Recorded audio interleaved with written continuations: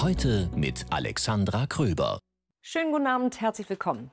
Duschkabinen, die mit dem Internet verbunden sind, Hundebetten, die die Temperatur ihrer Vierbeiner messen oder digitale Lösungen, die Städte vor Überflutung warnen.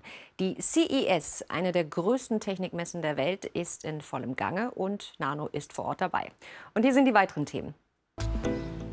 Eine der größten Messen der Welt, die Consumer Electronics Show, findet in diesen Tagen wieder in Las Vegas statt. Vor 50 Jahren präsentierte man dort Transistorradios und Schwarz-Weiß-Fernsehen. Heute geht es um Augmented Reality oder das Internet der Dinge. Über 20.000 Produkte lassen sich in diesem Jahr dort bestaunen, darunter viel Nützliches, aber auch Kurioses und Abseitiges. Mittendrin ist unser Nano-Reporter Lars Tepel, der schon auf der Anreise eine Ahnung vom Fliegen 4.0 bekommen hat. Wir bleiben dran an Lars. Wie sieht's aus? Stimmt das tradierte Bild von uns als eingefleischten Fleischessern noch? Oder sind wir alle mittlerweile Veganer, Vegetarier, Pesketarier oder Flexitarier? Der heute veröffentlichte Deutsche Fleischatlas zeigt, wir essen tatsächlich immer weniger Fleisch, aber der Verzehr sinkt nur sehr langsam. Pro Kopf sind es im Jahr immer noch satte 59 Kilogramm. Das Schwein führt mit rund 36 Kilo, gefolgt vom Geflügel mit 12,5 und dem Rind mit 9,7 Kilo. Fleisch, für das Tiere sterben müssen. Ja, das wissen wir, aber vor Augen führen möchten wir uns das trotzdem nicht. Was wäre das für eine fantastische Idee? Weiterhin Fleisch essen, ohne dass ein Tier getötet wird.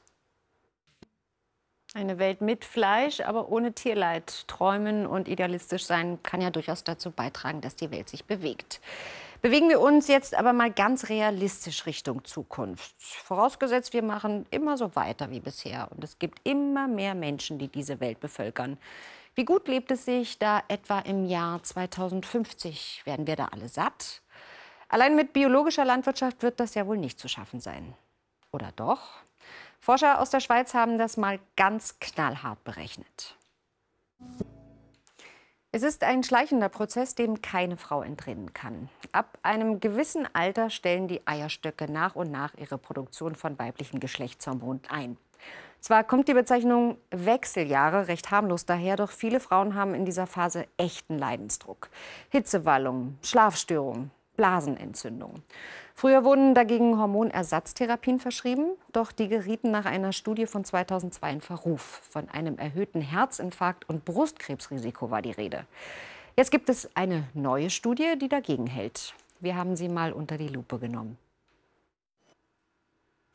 Gitarrenliebhaber und Kenner wissen es sofort. Zum guten Ton einer edlen Gitarre gehören auch edle Hölzer wie etwa Rio Palisander. Ein Tropenholz, das aber nicht nur bei Gitarren der Superlative verwendet wird, sondern bei fast allen ordentlichen Gitarren. Wurde, muss man sagen, denn diese Bäume fielen in Unmengen den Erntemaschinen zum Opfer, so dass die Bäume in das Washingtoner Artenschutzabkommen aufgenommen wurden. Seit letztem Jahr darf mit dem Holz nicht mehr gehandelt werden. Gut für die Bäume, schlecht für die Gitarristen. Doch Forscher aus Eberswalde und Zwickau haben jetzt eine ökologische Alternative entwickelt. Und so klang und stimmungsvoll verabschieden wir uns von Ihnen für heute. Und ich freue mich auf unsere Verabredung morgen. 18.30 Uhr. Bis dahin. Tschüss.